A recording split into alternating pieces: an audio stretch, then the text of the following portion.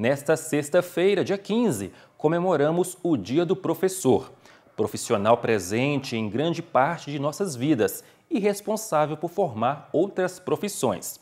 Vamos antecipar as comemorações deste dia com uma reportagem especial de 2015, no quadro Top Cultura 26 anos de História. Ser professor é ter um dom. Ana Paula, desde criança, sonhava em ser educadora. As bonecas foram as primeiras alunas que ela teve. De criança, pegava minhas bonecas, ficava brincando de escolinha, dando aula para as bonecas. E aí resolvi fazer o magistério mesmo.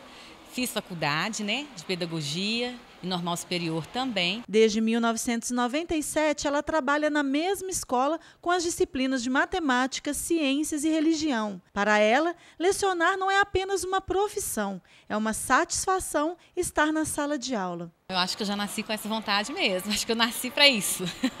trabalhar na educação. Eu me sinto realizada em fazer o que eu gosto e o que eu sempre quis. De acordo com Ana, os alunos são comportados e interessados em aprender. Tiago é da sala dela e gosta muito dos professores que tem. Ela é gente boa e. e. ela é boazinha. Quem hoje está como diretora, mas não esquece da época em que ficava em sala de aula, é a Kátia. Ela sabe da importância do profissional para o desenvolvimento do aluno. O nosso papel não é só de ler, ensinar a ler e escrever mais, né? Hoje a gente tem um papel social de é, resgatar mesmo o aluno, de trazer, de trabalhar virtudes com eles, que hoje já, tá, já está tão perdido, é, ensinar valores, é, mostrar para ele, é, buscar no aluno um trabalho para que ele se torne um cidadão mais crítico, né?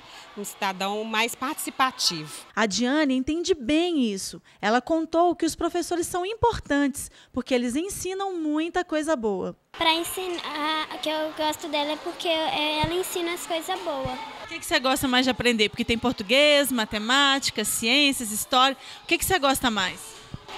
Português. Por quê? Porque eu gosto de muito texto. Você gosta de ler? E são várias as formas de ensinar. Quando regente do coral Unipac, Rosemary tinha parceria com o coral de surdos da APAI de Ouro Preto.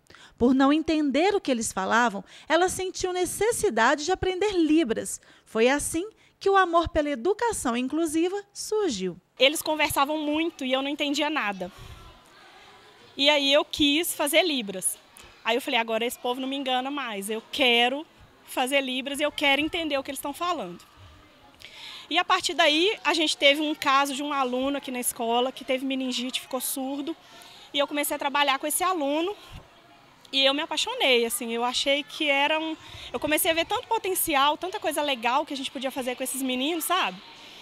E e por isso eu comecei a me especializar cada vez mais. Ela também conta que sempre se sentiu completa e realizada dentro da sala de aula. Às vezes eu chegava na escola, às vezes triste, a gente tem problemas em casa, a gente é um ser indissociável, né?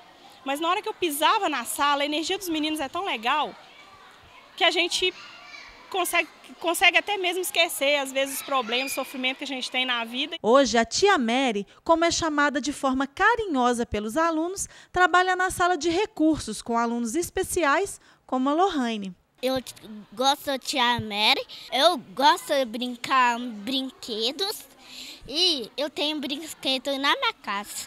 E, e assim, assim, eu cuido assim e gosto e gosta do Tadu. É muito importante para o desenvolvimento dela, lógico, que ela, ela gosta de vir para aula por causa das professoras. Inclusive a tia Ju, que foi professora dela ano passado, que foi muito importante e é importante para ela. Todo dia passa na sala da professora para falar com ela. E a tia Mary é o prazer dela sair da cama de manhã porque vai para a sala da tia Mary. Trabalhar com educação inclusiva é uma maneira de mudar de planeta. Apesar de cada passo ser pequeno, a realização é enorme. A gente tem uma intimidade maior com essa criança, a gente tem um contato muito mais próximo com a família dessa criança, a gente começa a tentar entender o mundo dessa família e aí a gente consegue atuar também com mais, de uma forma mais efetiva. Então, assim, é, é acho que é isso, é, é uma realização, é um, para mim é, eu amo mesmo, amo, amo, amo.